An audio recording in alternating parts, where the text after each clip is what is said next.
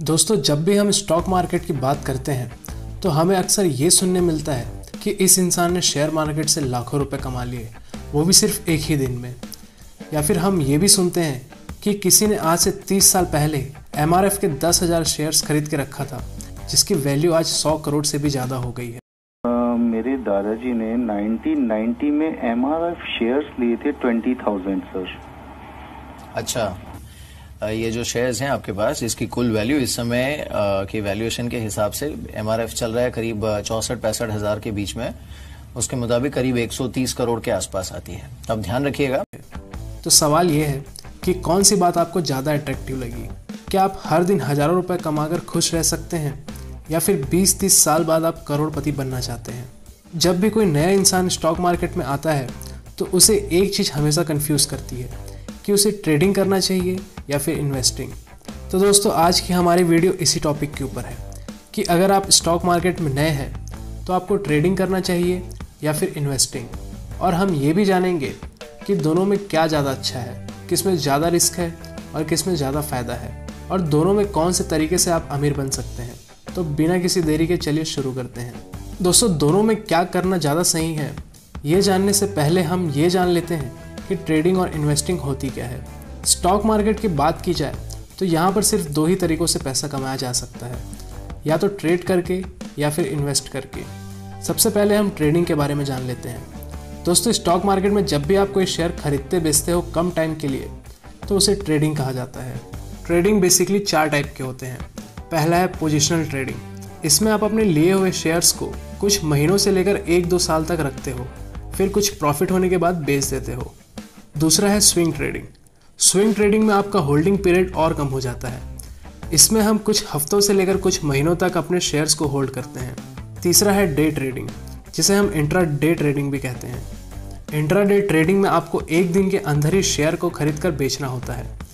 और आखिरी है स्कैल्प ट्रेडिंग स्कैल्प ट्रेडिंग कुछ मिनटों का ही होता है, जैसे एक मिनट या पाँच मिनट के अंदर किए जाने वाला ट्रेड ये तो हुए ट्रेडिंग के टाइप्स आप जानते हैं कि क्यों अक्सर नए लोग ट्रेडिंग की ओर अट्रैक्ट होते हैं। दोस्तों, कोई भी बिगिनर जब भी स्टॉक मार्केट में आता है तो कई सारे ब्रोकर्स उसे लालच देते हैं कि आप सिर्फ़ दस पाँच हज़ार रुपये लाओ और ट्रेडिंग करके हर दिन हज़ार दो हज़ार रुपये कमा कर ले जाओ। और ये ज़्यादातर लोगों को फैंसी और अट्रैक्टिव भी लगता है, क्योंकि अगर आपके पास कम पैसा है, जैसे मान लेते हैं अगर आपके पास सिर्फ़ दस हज़ार रुपये हैं तो ब्रोकर आपको ये बोलेगा कि हम आपको पाँच गुना मार्जिन प्रोवाइड कराएँगे। मतलब कि आपके पास तो सिर्फ़ दस हज़ार रुपये ही है, लेकिन आप ट्रेडिंग करते हो तो ब्रोकर आपको ऑफ़र देता है पाँच गुना ज़्यादा कैपिटल के साथ ट्रेडिंग करने के लिए। ऐसे में आप दस हज़ार के बदले आप पचास हज़ार के शेयर्स खरीद सकते हो। सुनने में तो ये बहुत कमाल का लगता है, लेकिन यही तो ट्रैप है, और यही लोग फंस भी जाते हैं। लोग सोचते हैं हमें कम पैसों में ज़्यादा शेयर्स खरीदने मिलेगा, और प्रॉफिट भी ज़्यादा होगा। चलिए ये हम मान भी लेते हैं कि पहले दिन आपने ट्रेडिंग से प्रॉफिट कमा भी लिया, लेकिन हर दिन आप ऐसा नहीं कर सकते। आप ये नहीं बोल सकते कि आपको हर दिन प्रॉफिट ही होगा। ट्रेडिंग प्रोबेबिलिटी का खेल है और इसमें आपके जीतने और हारने दोनों की प्रोबेबिलिटी फिफ्टी फिफ्टी होती है। और आपको बता दूँ कि दुनिया का ऐसा कोई भी ट्रेडर नहीं जिसे लॉस ना हुआ हो। हाँ बेशक इससे कई लोग कई गुना पैसा कमाए हैं, लेकिन वो वेल ट्रेंड हैं, कई सालों से मेहनत कर रहे हैं और आज भी सीख ही रहे हैं। तो आप अगर ये सोच रहे हैं कि चलो दस दिन में अगर हम सात दिन भी प्रॉफिट कमा लेते हैं और तीन दिन हमें लॉस होता है तो भी हम प्रॉफिट में ही रहेंगे।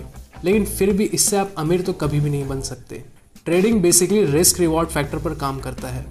मतलब कि आप जितने पैसों का रिस्क ले रहे हो तो आप प्रॉफिट में तभी रहोगे जब आप अपने लिए हुए रिस्क से दोगुना कमा कर निकलोगे। वरना ट्रेडिंग आप नहीं करो तो ही अच्छा है। और ज़्यादातर नए लोग अक्सर लॉस में ही जाते हैं। तो वो एवरेज करने के चक्कर में ओवर ट्रेड करने लग जाते हैं, जिससे उनका पूरा कैपिटल ही खत्म हो जाता है। और आप जितना ज़्यादा ट्रेड करोगे, उतना ही ज़्यादा ब्रोकर को फ़ायदा होगा। दोस्तों, अब आप कहोगे कि आपने तो ट्रेडिंग का इतना सारा नुकसान बताया, लेकिन फिर भी कई लोग तो ट्रेडिंग ही करते हैं और इसे ही अपना फुल टाइम जॉब भी बनाए हैं। तो दोस्तों, इसका सीधा सा जवाब है, आप जितने लोगों को भी ट्रेडिंग से पैसा कमाते देखे हो, वो सब वेल ट्रेन और वेल एक्सपीरियंस लोग हैं। बेशक ट्रेडिंग से पैसा कमाया जा सकता है, लेकिन इसके भी कुछ रूल्स होते हैं। जैसे कि आपको सबसे पहले मनी मैनेजमेंट सीखना होगा। एग्ज़ाम्पल के लिए, अगर आप पहले दिन लॉस खाते हो तो आपको गुस्से में आकर ओवर ट्रेड नहीं करना चाहिए। आपको एक दिन में एक या दो ही ट्रेड लेना चाहिए। और आपको अपना रिस्क रिवॉर्ड रेशियो अच्छा रखना है। और कई सारे टेक्निकल एनालिसिस होते हैं। ये सब सीखना पड़ेगा। मार्केट न्यूज़ पर ध्यान देना पड़ेगा। और सबसे इम्पोर्टेंट आपको पेशेंस रखना होगा। तब कहीं जाकर आप सक्सेसफुल ट्रेडर बन पाओगे। दोस्तों, ये तो हुई ट्रेडिंग की बात। अब जानते हैं स्टॉक इन्वेस्टिंग के बारे में। दोस्तों, एक बात तो है। दुनिया के जितने भी बिलियनियर्स और मिलियनियर्स हैं, वो सारे या तो अपने बिज़नेस से अमीर हुए हैं। या फिर इन्वेस्टिंग से। अब किसी भी अमीर इंसान को कभी ये बोलते नहीं सुनोगे कि वो ट्रेडिंग करके इतना अमीर बना है। वो यही बोलेंगे कि मैंने इतनी दौलत इन्वेस्टिंग से ही कमाई है। दोस्तों, फ़र्क देखिए, आप भी कई सारे बिलियनियर्स इन्वेस्टर को जानते होंगे, लेकिन किसी बिलियनियर ट्रेडर का नाम आपने कभी नहीं सुना होगा। चलिए इन्वेस्टिंग के बारे में कुछ और बातें जान लेते हैं। दोस्तों शेयर मार्केट में अगर आप किसी स्टॉक को खरीद कर उसे 10 साल या उम्र भर तक होल्ड करके रखते हो तो उसे इन्वेस्टिंग कहा जाता है। इन्वेस्टमेंट तो कई प्रकार के होते हैं। जैसे रियल इस्टेट में, गोल्ड में, एफ़ में, बॉन्ड्स में और म्यूचुअल फंड्स में। मगर सबसे ज़्यादा जो पॉपुलर है, वो है stock market investing. Stock investing में बेशक आपको समय लगेगा, लेकिन ये आपको कभी भी निराश नहीं करेगा। हाँ अगर आप अच्छे स्टॉक्स लिए हो तभी। इन्वेस्टर्स बेसिकली दो तरह के स्टॉक्स में अपना पैसा इन्वेस्ट करते हैं। पहला है ग्रोथ स्टॉक्स।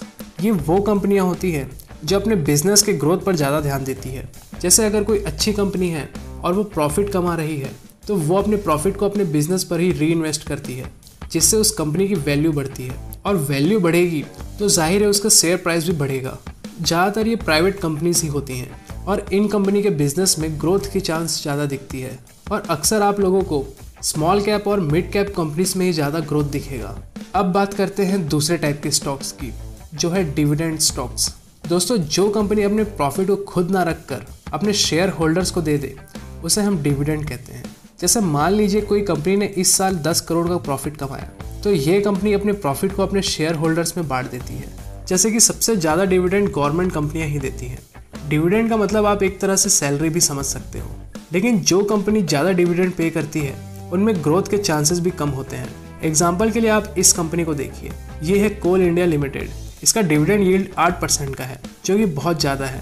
तो आप लोग ये सोचोगे कि ये तो एक अच्छा स्टॉक होगा, लेकिन नहीं।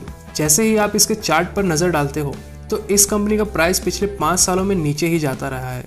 तो अब सवाल ये है कि आपको किसमें निवेश करना चाहिए?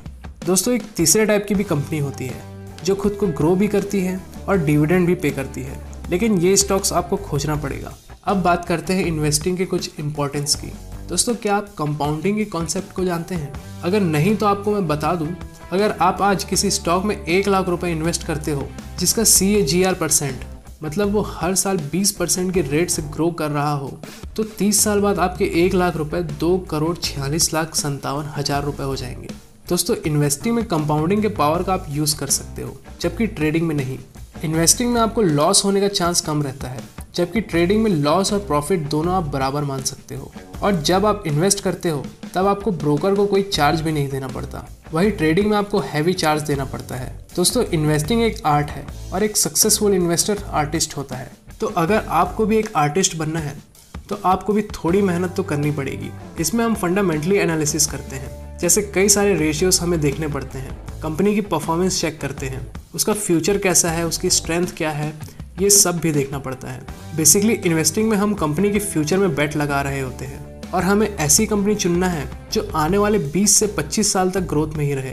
नहीं तो बिना एनालिसिस के आप कुछ भी खरीदोगे तो आप लॉस में ही रहोगे। और फिर बाद में आप मार्केट को ही ब्लेम करोगे, कि शेयर मार्केट सट्टे जुए के जैसा है। और हाँ इन्वेस्टिंग उन्हीं के लिए है, जिनके अंदर पेशेंस है। आखिर में मैं अपनी राय दूँ तो मैं यही कहूँगा कि अगर आपको पैसा कमाना है तो आप ट्रेडिंग कर सकते हो। लेकिन अगर आपको अमीर बनना है तो आपको इन्वेस्टिंग ही करना पड़ेगा। और दोस्तों, मैं जल्द ही आप लोगों के लिए स्टॉक मार्केट क्लासेस की वीडियो लेकर आऊँगा, जिसमें हम कंपनी को कैसे एनालिसिस करें, ये सभी कवर करेंगे। तो आज के लिए बस इतना ही। आशा है ये वीडियो आप लोगों को ज़रूर पसंद आई होगी। और अगर आप हमारे चैनल पर नए हैं तो चैनल को सब्सक्राइब ज़रूर करें। धन्यवाद।